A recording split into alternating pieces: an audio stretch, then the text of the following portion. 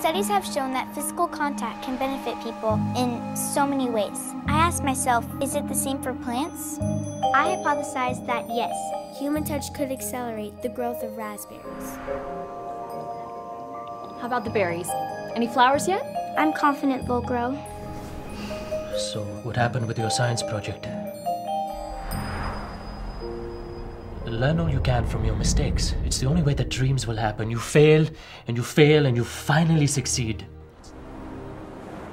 When the berries grow, Mom and Dad will stop fighting.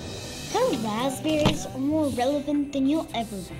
Monica and her stupid plants, they're nothing. It's based way too much on soft evidence and mushy-gushy feelings rather than actual research. They're not growing. Yeah, but when they do grow, it's magic. You can't measure life. You have to feel it.